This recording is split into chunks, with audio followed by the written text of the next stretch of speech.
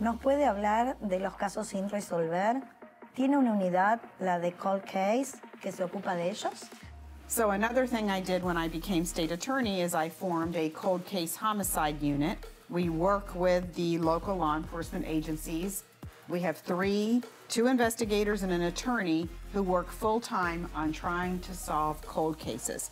So far, in the last four years, we solved 19 cold cases. So we dedicate a lot of time because unfortunately, once a case gets cold, it gets much harder to solve. But we've been very successful in dedicating time working with our local agencies and getting them solved and through the system. We've been really successful at that. Ella dice que, que cuando tomó su posición como fiscal, que creó una unidad especial para tratar esos casos, sí, que se, en inglés se le llaman cold, que casos difíciles, que tienen mucho tiempo, y formó una unidad con dos investigadores y un, abogado y ha podido lograr resolver 19 casos.